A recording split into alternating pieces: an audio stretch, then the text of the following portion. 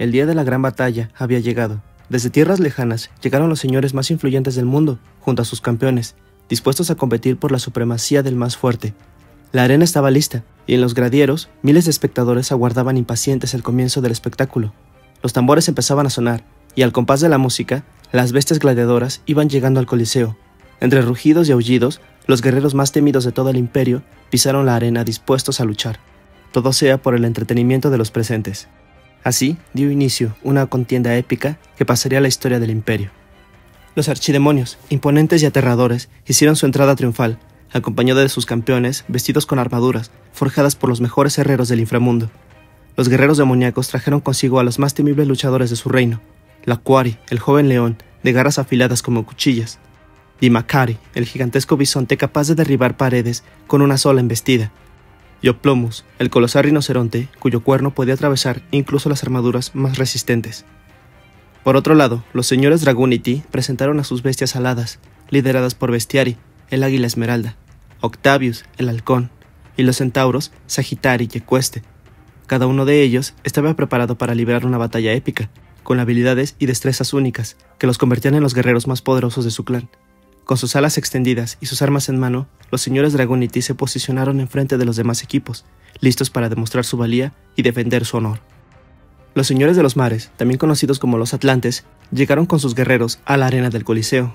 Estos eran seres acuáticos con gran habilidad para la lucha bajo el agua y en la superficie. Entre ellos se encontraba Secutor, un atlante con una gran habilidad para la lucha cuerpo a cuerpo, la piraña Murmilo, un guerrero con una gran mandíbula y una armadura resistente, Retieri, un lagarto con gran destreza y habilidad para atrapar a sus oponentes con su red. Tórax, el pez globo, listo para defender a sus compañeros. Todos ellos estaban comandados por Vespasius, una serpiente marina sabia y astuta que había ganado muchas batallas en el mar. Los atlantes habían entrenado arduamente para esta pelea. Los guerreros del rey de las bestias eran conocidos por su ferocidad y habilidades de caza. Samite, el tigre dientes de sable, era el más temido de todos ellos, con su pelaje blanco y grandes rayas negras se camuflaban en la jungla antes de saltar sobre sus presas. El oso Andal, por otro lado, era de una fuerza imponente, su piel gruesa y garras afiladas eran capaces de atravesar cualquier defensa. Tigerius, el entrenador de los guerreros, era un maestro en la estrategia de batalla. Había entrenado a cada uno de ellos desde que eran cachorros y conocía sus habilidades como la palma de su mano. Y finalmente Alexander, el león, era el líder de la manada, con su imponente presencia y rugido atronador. Inspiraba a sus guerreros a luchar con valentía y determinación. En ese momento, los señores del imperio hicieron su entrada triunfal en el Coliseo, escoltados con sus fieras entrenadas y ataviados con armaduras resplandecientes. Cada una de sus bestias parecía lista para devorar a cualquiera que se atreviera a cruzarse en su camino. Spartacus, el dinosaurio, rugía ferozmente mientras avanzaba con lentitud, demostrando su enorme tamaño y fuerza. Noxius, el chita, corría de un lado a otro en círculos, ansioso por salir a luchar. Atorix, la lince, permanecía en silencio, su mirada fría y calculadora, observando a los demás equipos con desdén. Darius, el caballo, relinchaba nerviosamente, sabiendo que enfrentaría a sus oponentes mucho más fuertes que él.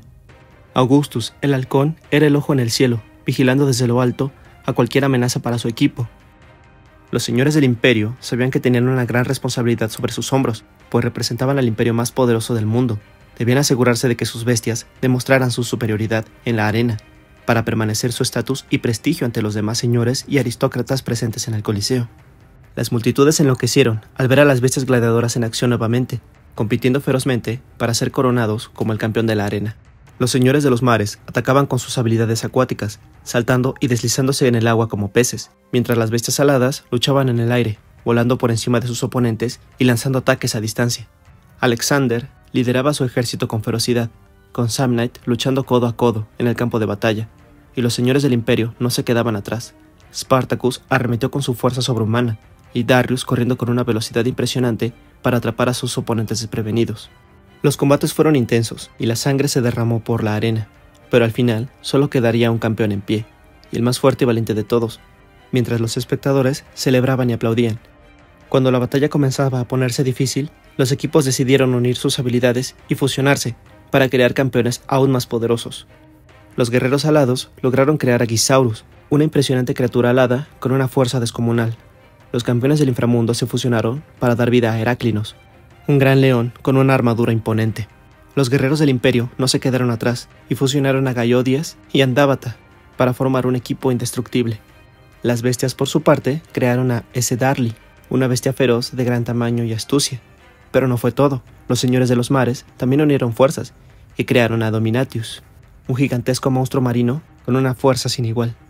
Con estas nuevas criaturas en la arena, la batalla se intensificó aún más, y los espectadores estaban asombrados por lo que veían. Después de una larga y ardua batalla, la arena del Coliseo estaba cubierta con escombros y heridos, pero solo uno de los campeones podría ser el vencedor. La batalla se prolongó durante horas. Los combatientes se enfrentaban con todas sus fuerzas, utilizando todas sus habilidades y estrategias para intentar derrotar a sus oponentes. Gisaurus, el campeón de los guerreros alados, desplegaba con velocidad y agilidad para esquivar los ataques enemigos, mientras que Heráclinos, el poderoso guerrero del inframundo, lanzaba poderosas llamaradas y ataques de sombra para intentar debilitar a sus contrincantes. Gayodas y Andábata, los orgullosos guerreros del imperio, hacían uso de su astucia para enfrentar a las bestias enemigas, mientras que ese Darly, la formidable bestia, luchaba con ferocidad, arrasando todo a su paso. Sin embargo, fue Dominatius, la creación de los guerreros del mar, quien finalmente prevaleció. Con su imponente figura y sus habilidades de control del agua, logró debilitar a sus oponentes uno a uno, incluso a los más poderosos. Gisaurus intentó volar por encima de él para lanzar un ataque sorpresa, pero Dominatius lo atrapó en un remolino de agua y lo arrastró hacia el suelo. Heráclinos trató de quemarlo con sus llamas, pero el agua apagó el fuego rápidamente. Gayodas y Andábata intentaron atacarlo juntos, pero Dominatius creó una ola gigante y los arrojó lejos. Al final, todos los demás combatientes fueron vencidos y Dominatius emergió como el campeón indiscutible de la batalla. Los espectadores se pusieron de pie y aplaudieron con entusiasmo, mientras los guerreros del mar celebraban su victoria con orgullo. Los guerreros del mar celebraron su victoria, mientras que los otros equipos se retiraron con la cabeza baja, sabiendo que habían sido derrotados. Pero a pesar de la rivalidad y la competencia, todos los equipos sabían que habían sido parte de algo especial. La fusión de sus habilidades y la creación de los campeones más poderosos del mundo había sido una experiencia única y emocionante. Desde ese día, el Coliseo fue restaurado y se convirtió en un lugar para los torneos de luchas más grandes y emocionantes que el mundo haya visto jamás. Y aunque siempre había rivalidades y competencia entre los equipos, todos sabían que cuando se unían y trabajaban juntos, podían lograr cosas increíbles. Los gladiadores eran guerreros que se entrenaban y combatían en la arena romana durante el periodo de la antigua Roma. Estos guerreros luchaban entre sí o en contra de animales salvajes como entretenimiento del público, los gladiadores eran en su mayoría esclavos o prisioneros de guerra, aunque también había hombres libres que optaban por esta profesión.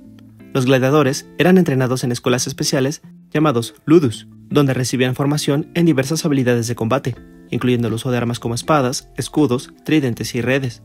Los espectáculos de gladiadores eran muy populares en la arena romana, y se llevaron a cabo grandes anfiteatros como el Coliseo de Roma.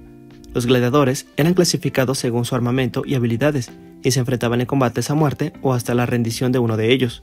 La vida de los gladiadores era muy dura, ya que estaban constantemente expuestos a lesiones y enfermedades debido a las condiciones de entrenamiento y a los combates. Sin embargo, algunos gladiadores lograban obtener fama y fortuna, y podían llegar a ser muy respetados dentro de la sociedad romana. Los nombres de algunas de las bestias gladiadoras tienen algo que ver con los oficios o puestos dentro de los gladiadores romanos.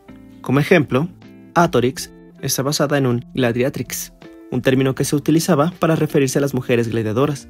Aunque se sabe relativamente poco acerca de ellas, se cree que tenían una rareza y que sus combates eran poco frecuentes. Se entrenaban en las escuelas de gladiadores junto con los hombres y solían luchar con armas más pequeñas. A menudo se llevaba a cabo como un acto de exhibición para el público, y su participación en los espectáculos de gladiadores se considera una excepción en lugar de una norma. Dimacari podría estar basado en los Dimacheri, que eran un tipo de gladiador en la antigua Roma que luchaban con dos espadas llamadas Sikae. Eran considerados una de las clases más peligrosas y temidas de gladiadores, ya que podían atacar y defenderse simultáneamente con dos espadas. Aunque no se sabe mucho sobre su entrenamiento o su papel en los espectáculos de gladiadores, se cree que los Dimacheri eran altamente valorados y admirados por su habilidad y destreza en la lucha. Ecoeste podría estar basado en un Eques, era un ciudadano romano de clase media alta, que poseía un caballo y se desempeñaba como jinete romano en el ejército. Su estatus social les otorgaba privilegios y poder en la política y en la sociedad antigua de Roma. Además, los equites eran conocidos por su habilidad en la equitación y por participar en carreras de carros en el circo romano. Oplomus en un Oplomacus era un gladiador romano que luchaba con un escudo grande llamado Plon y una espada corta llamada Gladius. Eran conocidos por su habilidad defensiva y por lanzar ataques precisos a sus oponentes, a menudo se enfrentaban a otros tipos de gladiadores en el Coliseo romano, especialmente a los Murmilo. La lucha entre Oplomachi y Murmilo se consideraba una representación de lucha en el antiguo Imperio Romano y los guerreros griegos. Láncita, en el Lanista, era el propietario y entrenador de un equipo de gladiadores en antigua Roma. Seleccionaban, entrenaban y preparaban a los gladiadores para los combates en los espectáculos públicos. La profesión era una parte importante para la industria del entretenimiento romano, y los lanistas a menudo se enriquecían y adquirían gran poder e influencia dentro de la sociedad romana. La quari en un lacuagari era un tipo de gladiador romano que se especializaba en la lucha con una red y un tridente llamado fusina. A menudo luchaban en arenas que contenían agua, y en su técnica de lucha consistía en atrapar al oponente con la red y luego atacarlo con el tridente. Se enfrentaban otros tipos de gladiadores, especialmente al retiarius. El retiari, el retiarius, era un tipo de gladiador romano que luchaba con una red y un tridente, llevando poco o casi ninguna armadura. Su técnica de lucha consistía en atrapar a su oponente con la red y atacarlo con el tridente. Los retiari eran muy ágiles y tenían que evitar a los ataques de los oponentes más pesadamente armados. A menudo se enfrentaban a otros gladiadores, especialmente a la Kogari, otro gladiador que luchaba con una red y un tridente, pero llevaba armadura. Samnite en el Samnite. Era un tipo de gladiador romano, bien equipado con un casco, un escudo grande y una espada corta y una gebra en la pierna izquierda. Usaban su equipo defensivo y ofensivo para protegerse y avanzar contra sus oponentes, mientras atacaban con sus espadas cortas y ágiles. Los abnitas se consideraban guerreros valientes y honorables, y se enfrentaban a otros tipos de gladiadores como el Murmilo y el Retiarius. Secutor era un tipo de gladiador romano que llevaba una armadura pesada y un casco en forma de pez, con una sola y pequeña abertura en los ojos. También llevaban un escudo rectangular y una espada corta. Su técnica de lucha se basaba en la fuerza y resistencia, y se centraban en atacar a su oponente de manera directa y agresiva. El tórax era una coraza que protegía el torso de los guerreros griegos y macedonios. En la era de bronce y hierro, permitían una buena movilidad al guerrero, y los guerreros que lo llevaban eran llamados oplitas, y eran considerados la fuerza de choque principal en las batallas. Bestiari, un bestiario era un tipo de gladiador que luchaba contra animales salvajes en la arena. Utilizaban lanzas o redes para protegerse y matar a la bestia, aunque era un espectáculo popular, era peligroso y requería de habilidad y rapidez para evitar ser herido. Los bestiarios recibían atención médica inmediata en caso de lesiones. A pesar de no ser tan comunes como otros tipos de gladiadores, los bestiarios son una parte icónica de la cultura popular romana. Por último tenemos a Spartacus, basado en el mítico Spartacus. Fue un gladiador tarcio que lideró una rebelión contra la República Romana en el año 73 a.C. de nuestra era. Él y otros guerreros escaparon de la escuela de gladiadores y formaron un ejército rebelde de más de 100.000 hombres, Spartacus lideró su ejército en varias victorias contra las fuerzas romanas, pero después de dos años de lucha, fue derrotado y murió en batalla. Su rebelión tuvo un gran impacto en la sociedad romana y se promulgaron leyes para mejorar el trato de los gladiadores. La historia de Spartacus ha sido una fuerte inspiración para muchos movimientos de liberación en todo el mundo. Y así como estos ejemplos, tenemos a otros gladiadores basados en personajes históricos, como Alexander, podría estar basado en el popular Alejandro Magno, Augustus en Augusto, el primer emperador romano, Octavius era el nombre original de Augustus, cambió su nombre a Augustus, que significa el venerable o el majestuoso. Darius, en el antiguo rey persa, Darius el Grande. Sagitari, en la constelación de Sagitario. Tiberius fue el segundo emperador romano, sucediendo a Augustus. Vespasianus fue el noveno emperador romano. Nero fue el quinto emperador romano. En cuanto a algunas fusiones, Heraclinos está basado en la figura de Hércules o Heracles. Gisaurus es complicado, pero es una abreviatura a Gaius Julius Caesar. Gortias, un rey frigio de la antigua Anatolia.